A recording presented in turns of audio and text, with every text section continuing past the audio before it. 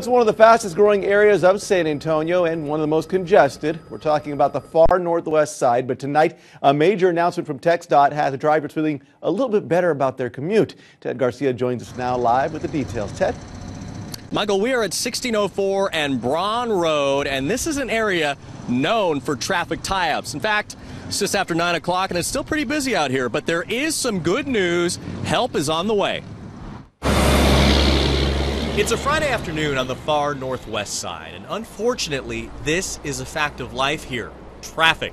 Lots of it. It's traffic like here. It's terrible. My office is right there and I live over there, so around after 3 it gets terrible.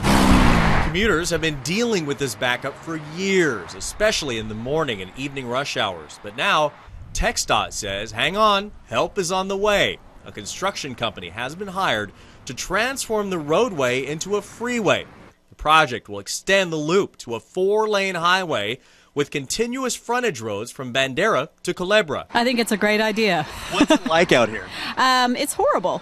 You know, and, and you've got a highway to the left, you know, and then this part just backs up every day, morning and afternoon. The project will also include overpasses at Shaenfield, New Guilbeau, and Braun Roads. Yeah, that'd be good right there better better on traffic for for us over here. TxDOT says this is one of the fastest growing areas in the city, and traffic is only expected to get worse, which is why this $82 million project has been given the green light.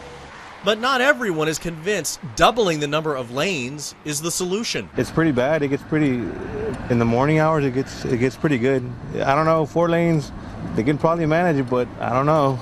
It's kind of iffy.